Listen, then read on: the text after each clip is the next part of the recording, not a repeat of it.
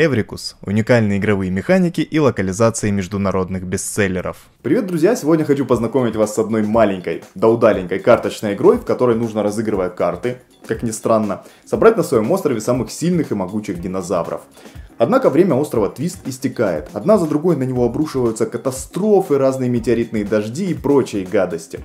А, давайте быстренько пробежимся по правилам и я расскажу вам о том, кому подойдет данная игра.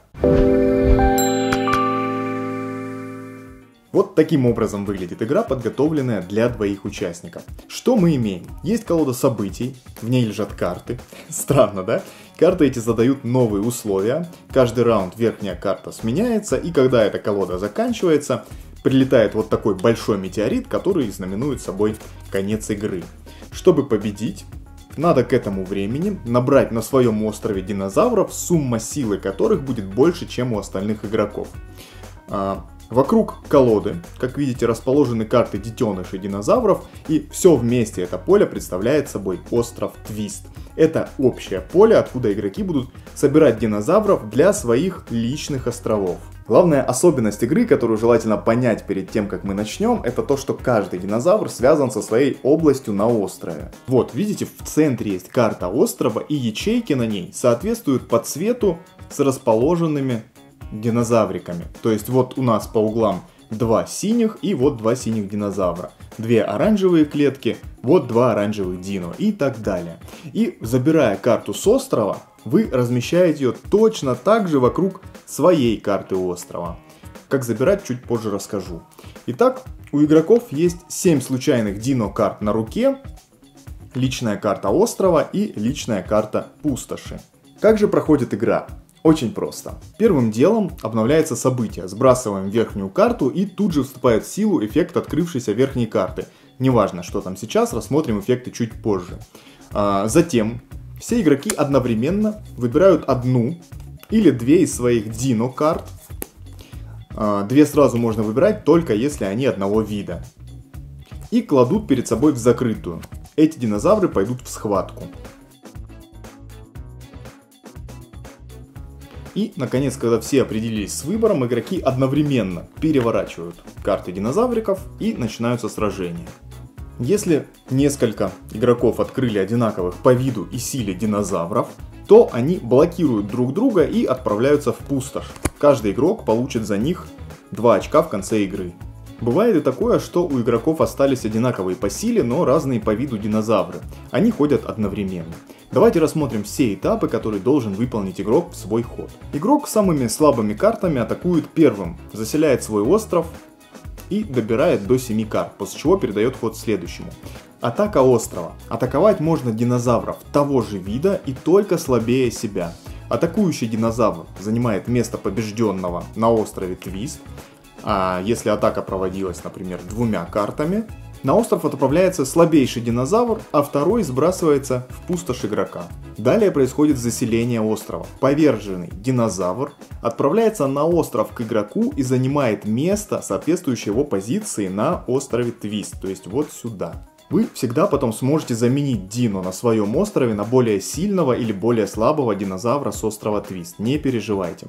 В этом случае заменяемый динозавр уйдет в сброс. И добор. После заселения игрок э, снова добирает руку до 7 карт и передает ход следующему игроку. Таким образом и ходят игроки, пока из колоды событий не появится карта «Большой метеорит». Что же происходит, когда открывается эта карта? Во-первых, игроки сбрасывают те карты, которые у них остались на руках, и подсчитывают очки, складывая силу динозавров на своем острове, бонусные очки, о которых я еще не рассказал, и очки за карты в пустоши, по две за каждую. Игрок с наибольшим результатом и побеждает. Итак, что же еще, кроме силы динозавров, приносит победные очки? Есть вот такие три карты бонусов. Ну, при игре вдвоем их будет всего две, сейчас поймете почему.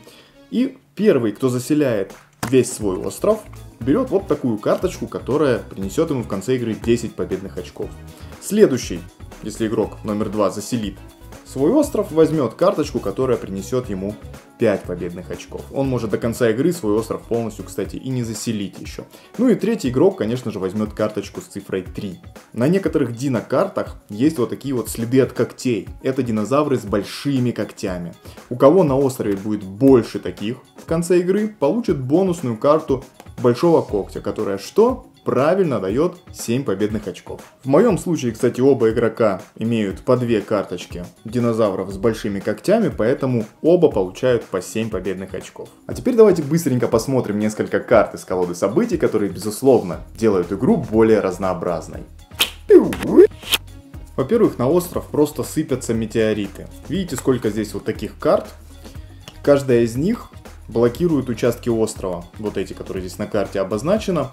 Их нельзя будет атаковать динозаврами в раунде, когда открывается такая карта из колоды событий. То есть, допустим, у нас вот эта карта выпала, и она блокирует вот эти вот участки острова. Вот этих динозавров атаковать будет нельзя. Вот такая карта позволяет использовать для атаки до трех динозавров одного типа, вместо обычных двух. Карточка землетрясения позволяет поместить пойманных динозавров в любое место на своем острове, без привязки к основному острову.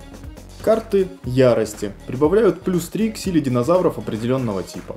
Ну и есть еще кое-какие карты, с которыми вы уже сможете познакомиться самостоятельно. Мнение. Как я уже и говорил, Дина Твист это маленькая да удаленькая карточная игра, которую на самом деле не стоит недооценивать. Это хороший и самое главное недорогой способ подарить семье несколько счастливых минут.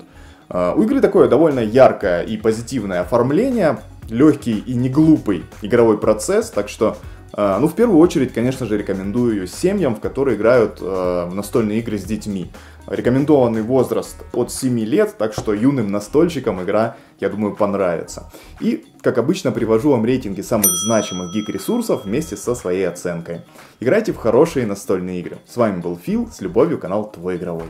Пока.